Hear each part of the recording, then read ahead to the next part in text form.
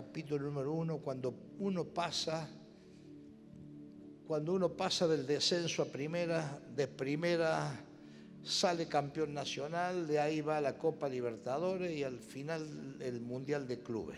Alguien que, perdone que le hable los términos futboleros, pero creo que más o menos todos nos entendemos.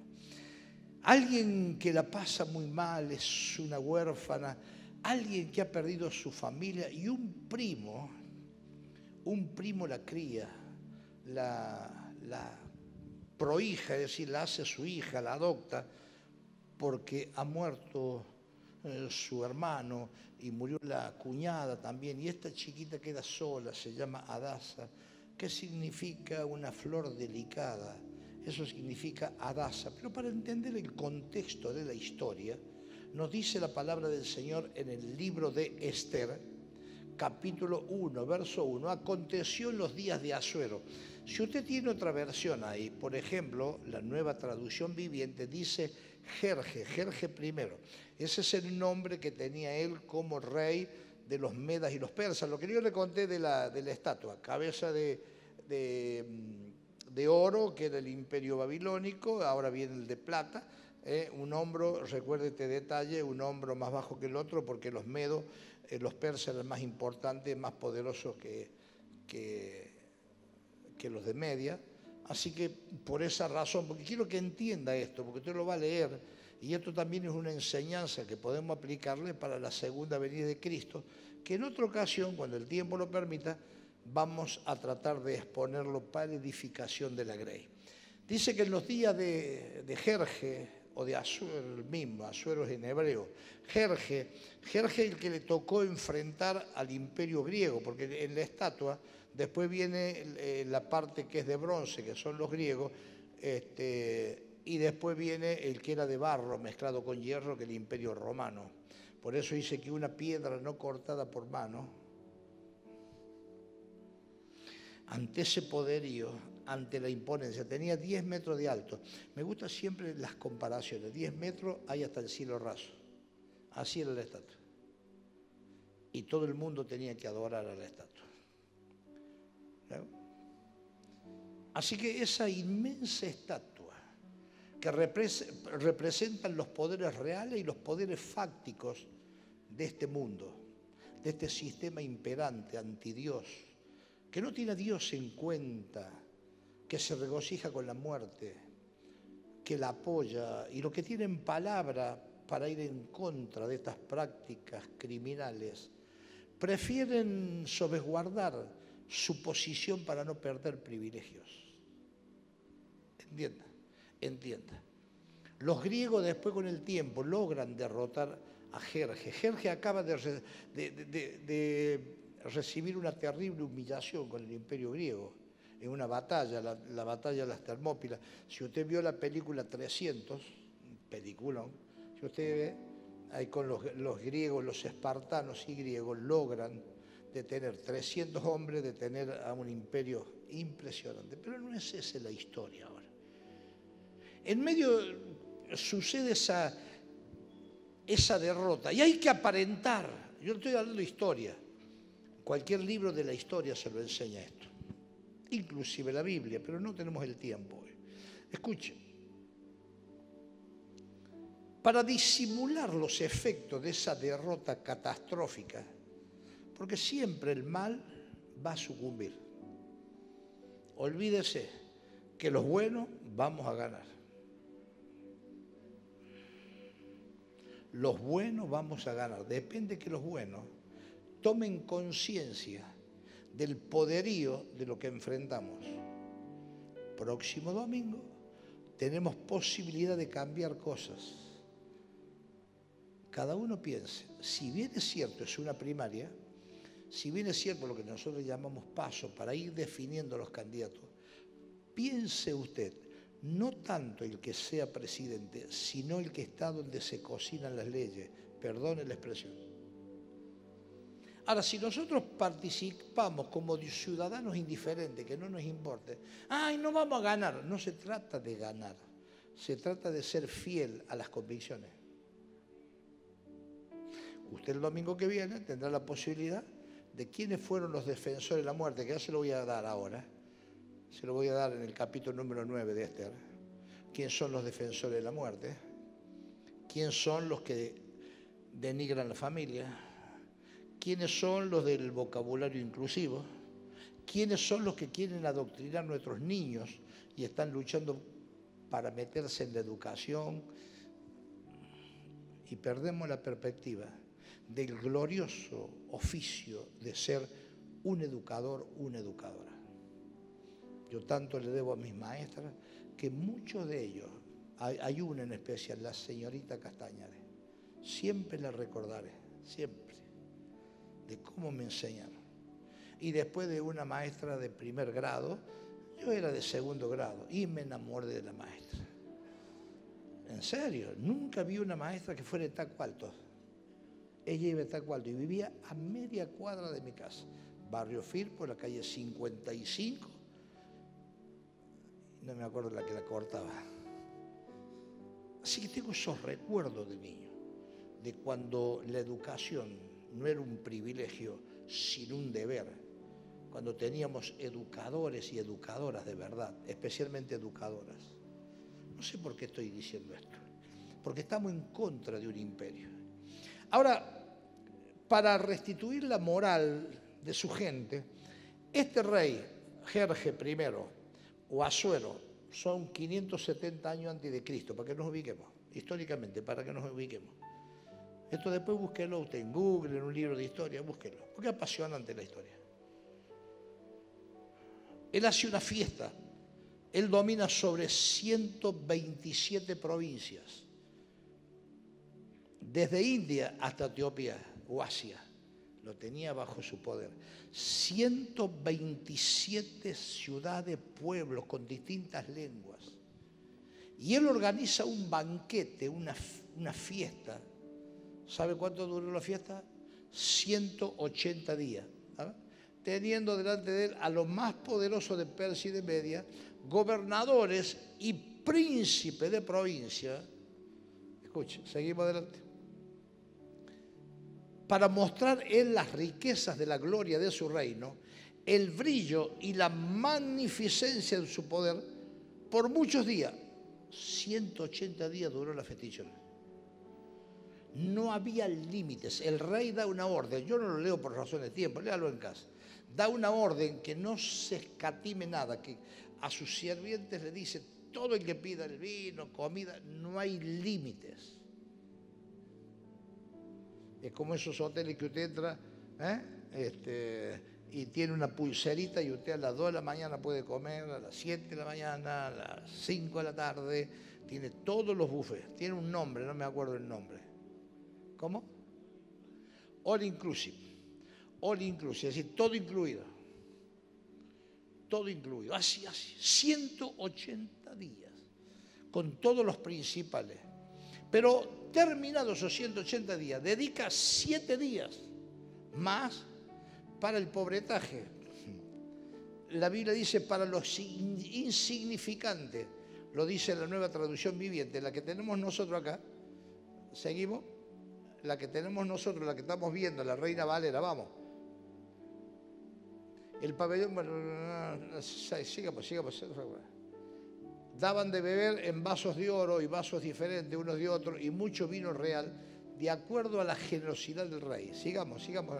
Y la bebida era según esta ley, que nadie fuese obligado a beber, porque se habla del rey a todos los mayores que se hiciese según la voluntad de cada uno. Cada uno podía tomar, comer lo que se le daba Asimismo, la reina Basti hizo banquete para las mujeres en la casa real del rey Azuero. Sigamos.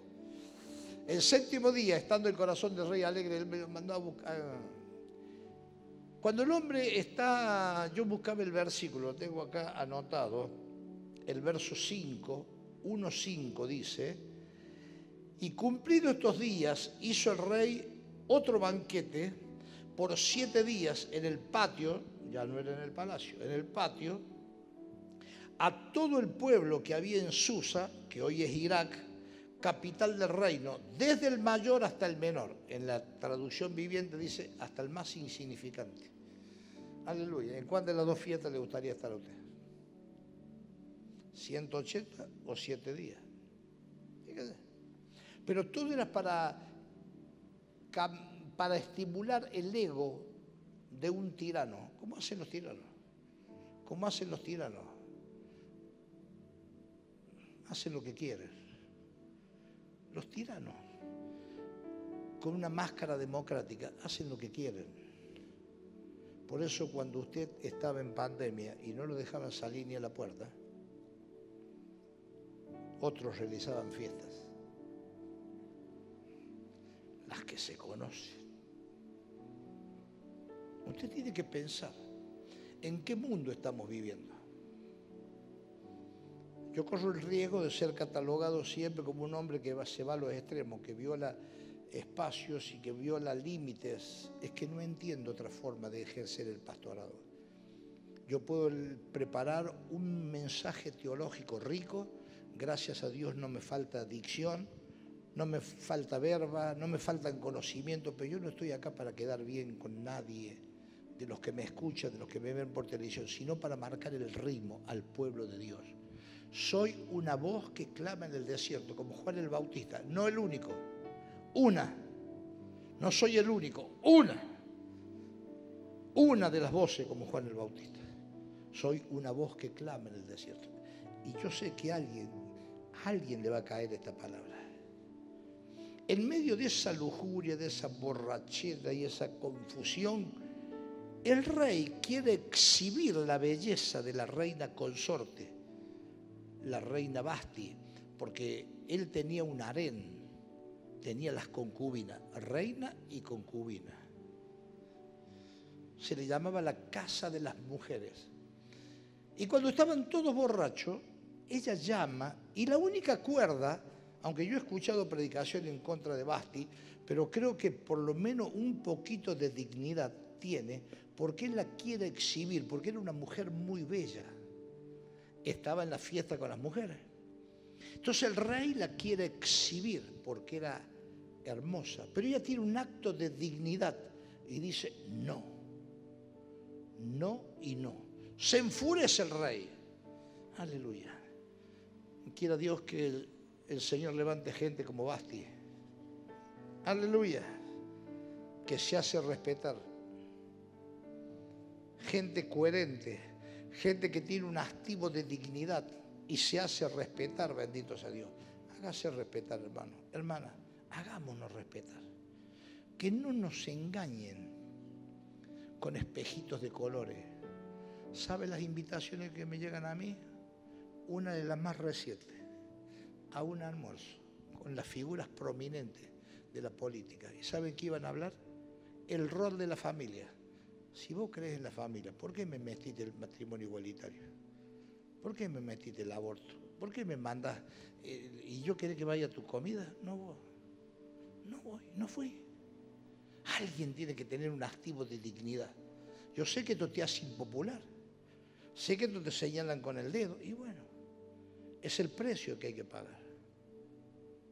Es el precio para recuperar la dignidad y el honor de nuestros hijos, de nuestros nietos. La chica no quiere ir. Entonces el rey se enfurece, vienen los consejeros y le dicen, no, está mal lo que hace esta mujer, el rey tiene que tomar medidas. ¿Y qué hago? Le dice el rey a sus consejeros. Y bueno, hay que destituirla, hay que sacarla, porque si no en todo el pueblo, todas las, mujeres se van insubordinadas contra sus maridos. Claro, no, nuestra mentalidad no cierra mucho, pero una mentalidad oriental se van, imagínense si le dicen al rey todopoderoso que no, imagínense la mujer que tiene el marido, que si no existís vos, un cirujano, ¿qué, ¿qué me venía a mandar a mí? Entonces había que dar un ejemplo. Y buscan en las 127 provincias, hacen un casting y se lleva a cabo el primer concurso de belleza que hay en la historia, por lo menos registrada. Trajeron las vírgenes más hermosas de todo ese reino.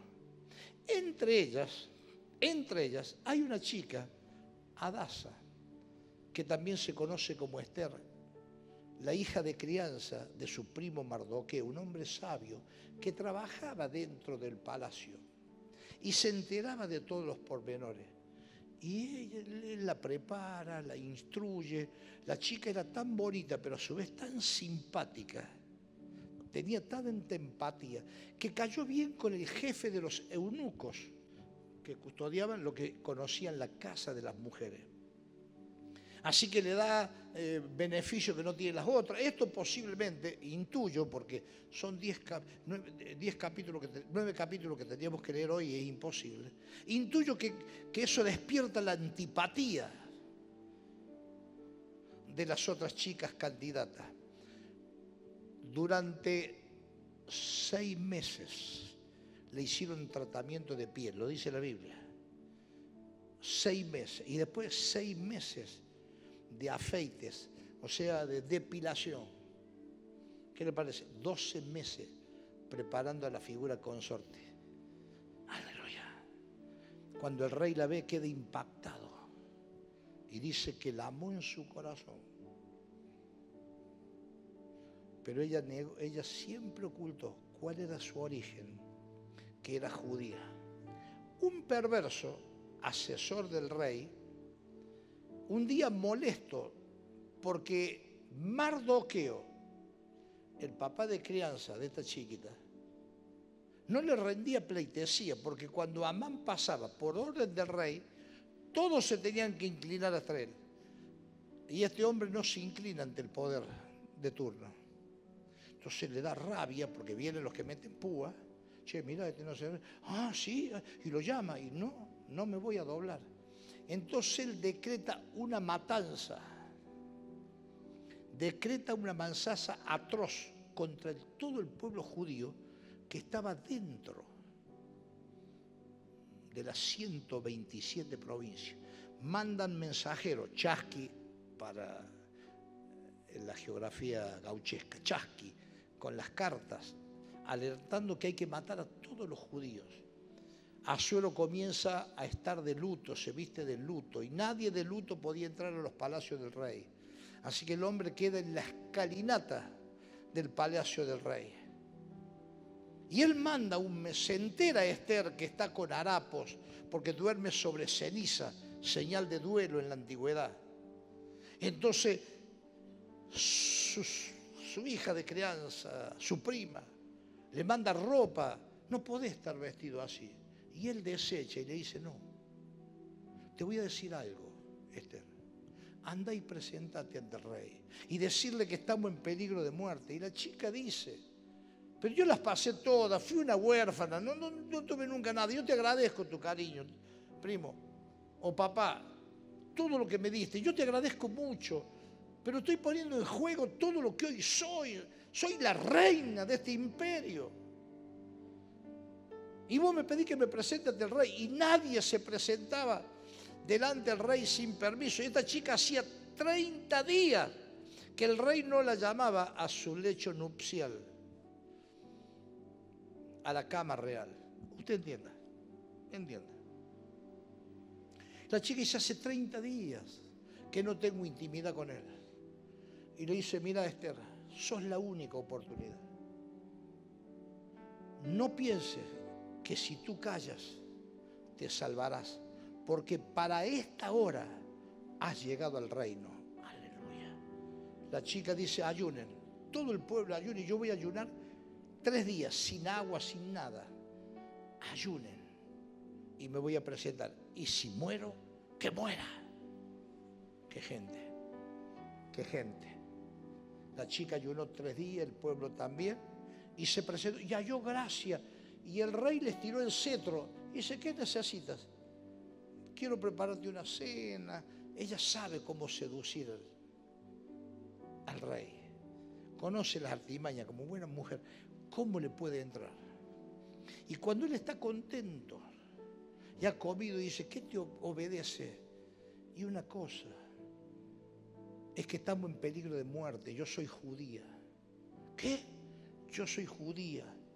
¿Y quién decretó eso que tiene que morir? Este que está acá. Amán. ¿Y por qué hiciste eso, Amán? No, y empezó a tartamudear. Le dice, no te olvides nunca que fue Mardoqueo, mi padrastro, o mi primo, el que salvó tu vida ante una intriga palaciega, porque quisieron matarlo al rey Asuero o Argerje en un golpe palaciego.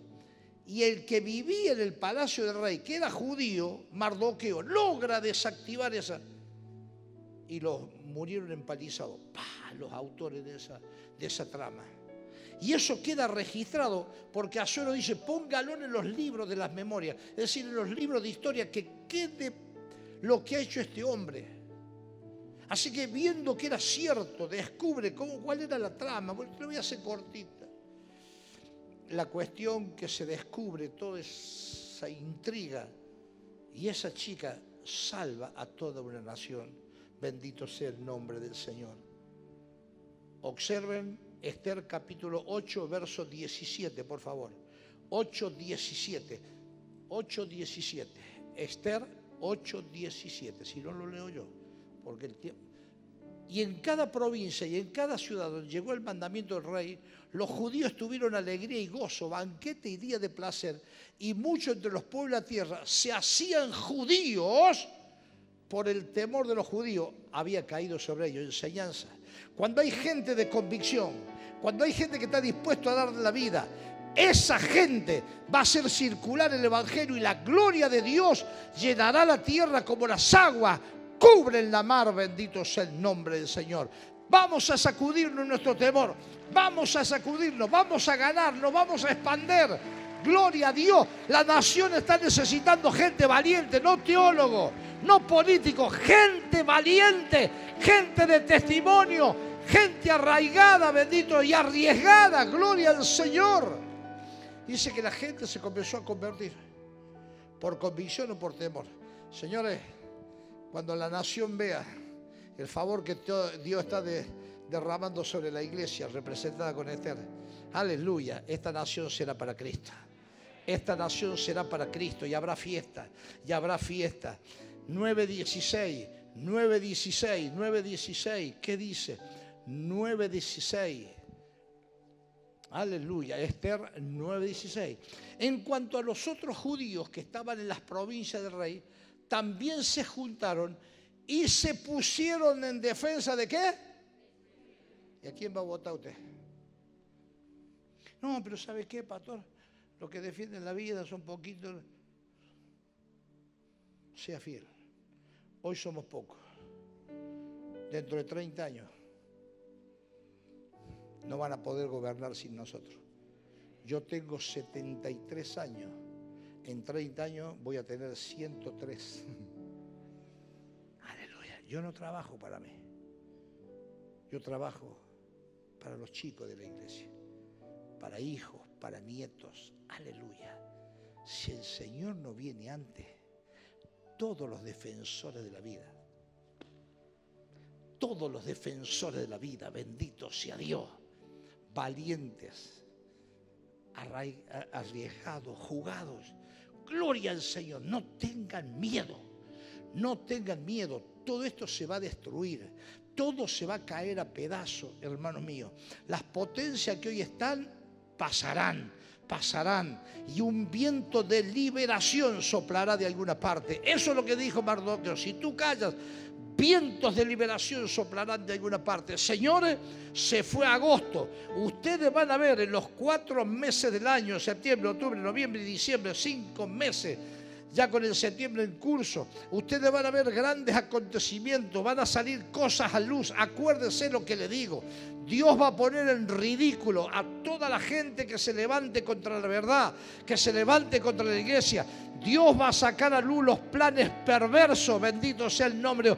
¿Qué va a temer usted a cinco locos llamados artistas, cultores del cine, que hacen una representación fantasmagórica, mentirosa, denigrante? La iglesia emerge gloriosa, Gloria a Dios.